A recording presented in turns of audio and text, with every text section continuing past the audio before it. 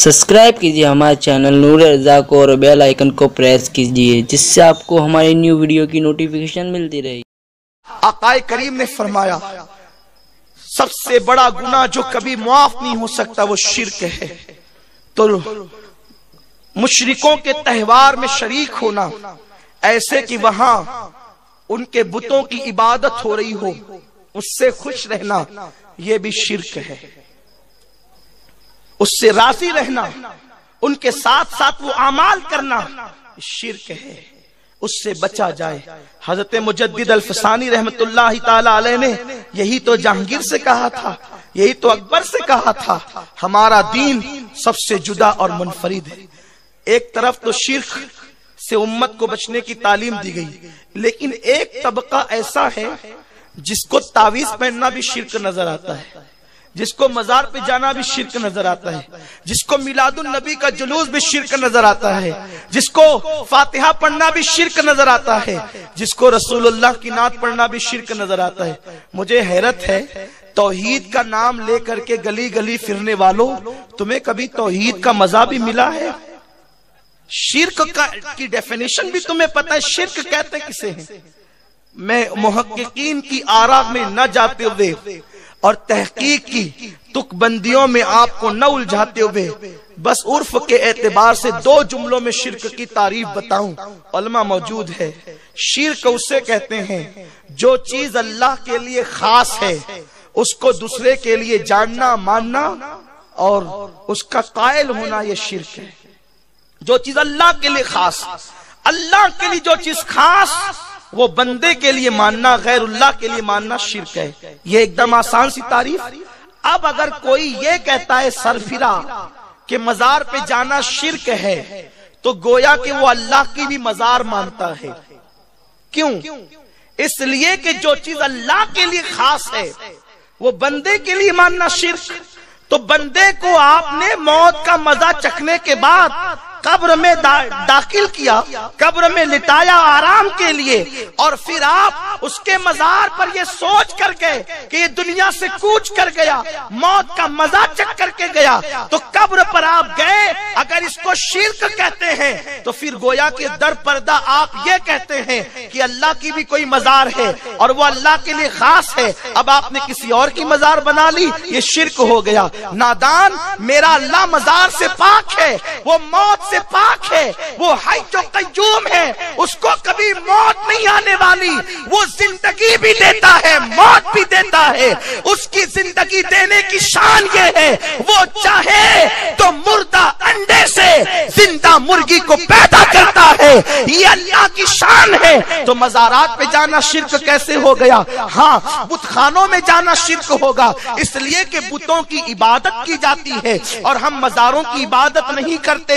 अगर हम मजारों की इबादत करते तो हमारे मोहल्लों में मस्जिदें नहीं होती। हम मिट्टी की कमरे यूँ ही बनाते रहते और माज अल्लाह पूजते रहते। लेकिन अल्लाह के सिवा किसी की इबादत करना हमारे यहाँ जायज़ नहीं है। खुदा की कसम, पूरी कायनात में अगर सबसे ज़्यादा हम किसी को प्यार करते हैं, इश्क करते हैं तो वह मुस्तफ़ा जान रहमत है।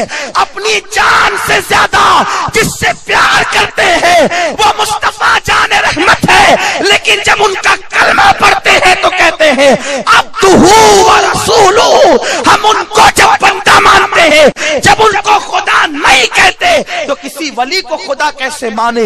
किसी बरगसीदा को खुदा कैसे माने? अरे जिसे जान से ज़्यादा प्यार किया जब उसे खुदा न कहा बल्कि हम तो यूँ कहते हैं हैल सुन्नत का इमाम हमारा इमाम इमाम अहमद रजा यूँ फरमाते हैं कि लेकिन रजा ने खत्म सुखन इस पे कर दिया। मुस्तफ़ा की सना खत्म यहाँ होती है। लेकिन रजा ने खत्म सुखन इस पे कर दिया। खालिक का बंदा। ये हमारा कीदा है। खालिक का बंदा। खल्क का आका कहूँ तुझे। ये हमारा नज़रिया है। तो जब उन्हें महबूब, और एक बात बताऊँ, हमें तो हुजूर को शरीक मानने में लुत्फ ही नहीं आता। क्यों? हम अपने नबी का या अपना नुकसान करें शरीक मानकर। अपना नुकसान तो ये कि मुशरिक हो गए। और नबी का नुकसान ये कि मेरा तेरा हो गया दोनों को जुदा कर दिया। जो शरीक होता है वो जुदा होता है। जो पार्टनर होता है वो जुदा होता है। हम नबी को पार्टनर और शरीक नहीं मानते हम हबीब मानते हैं। शरीक मानने में कोई फ़ायदा भी नहीं ना अपना ना नबी का। नबी के लिए ये कि खुदा से जुदा कर दिया और अल्लाह का फरमान है, हबीब, ये यहूद और नसारा तो ये चाहते हैं कि अल्लाह को उसके रसूलों से जुदा कर दे। ये तो मोमिनों का तरीका भी नहीं। तो हम हबीब मानते शरीक नहीं, क्योंकि शरीक में चार चार आने का, एक एक आने का हिसाब होता है। ये तेरा, ये मेरा। और उस पर झगड़े भी होते हैं, फिर उस पर कत्ल भी होते हैं, फिर उस पर लड़ाइयाँ भी होती है। इसलिए हम शरीक नहीं मानते। हम हबीब मानते हैं। शरीक माने नुकसान। चाँद मैंने बनाया, तूने तोड़ा क्यों? सूरज मैंने डुबाया, तूने निकाला क्यों? नादान, तुझे तोहीद नहीं पता। तोहीद तो करीब नवाज़ वालों को मालूम है। तोहीद तो गौसुल आज़म वालों को मालूम है। क्यों? क्योंकि जिनके मज़हब सत्तावन के बाद अंग्रेज़ों की मेज पर बने। वो क्या तोहीद जाने? तोहीद तो वो जानते हैं जिनका मसलक साढ़े चौदह सौ साल पुराना है।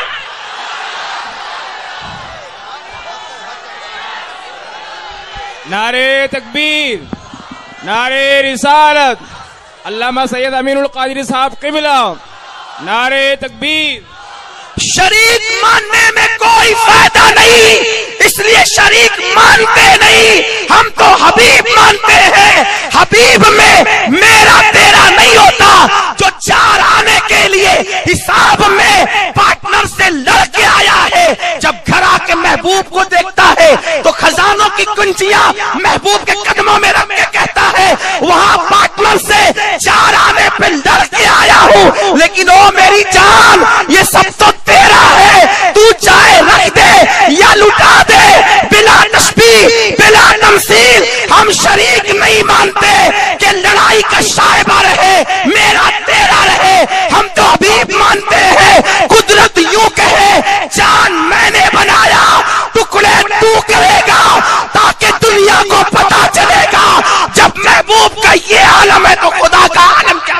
नारे तकबीर, नारे रिसालत, उलमाए सुन्नत, औलादे रसूल। औलादे रसूल, नारे तकबीर।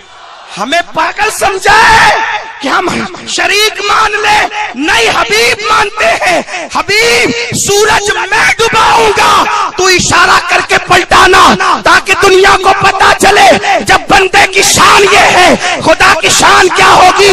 अल्लाह अकबर, जाबिर के बच्चों को मौत मैं दूँगा तू पुकारना ज़िंदा होके आएँगे ताकि पता चले महबूब की शान है। खुदा की शान क्या होगी? हबीब, जब तू काबे को छोड़ देगा, काबा सबसे कीमती होगा, वो हरम होगा। लेकिन जब तू मदीने में कदम रखेगा तो काबे वाले शहर से ज़्यादा दुगना बरकत मदीने में कर दूँगा, ताकि पता चले मुस्तफ़ा के कदमों का ये आलम है। तो खुदा की शान का आलम क्या होगा? मेरे प्यारे आका सलाम के प्यारे दीवानों, हम शरीक नहीं मानते, हबीब मानते। इसलिए हम कहते शिरक से बचो। शिरक से बच।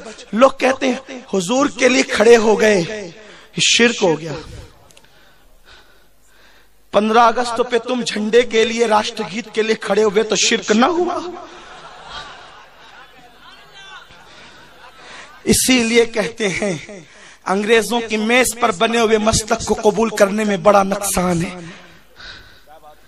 अंग्रेज़ों की मेज पर बने हुए मस्तक को कबूल न करो। वरना हिंद में वहाबियत, देवबंदियत, कादियानियत, चकड़ालियत, ये सब के सब अठारह सौ सत्तावन के बाद अपना वजूद नहीं बता सकते। हाँ हिंद में अगर आपको मिलेगा तो मुस्तफ़ा जान रहमत का गुलाम मिलेगा। हिंद गरीब नवाज़ आए ना? गरीब नवाज़ आए, दाता साहब की मजार पे फातिहा पढ़ के चिल्ला करके आए। यूँ भी आ सकते थे, गौस पाक के मजार पे गए तो आवाज़ आई, मोइनुद्दीन हिंद में अल्लाह का शेर रहता है।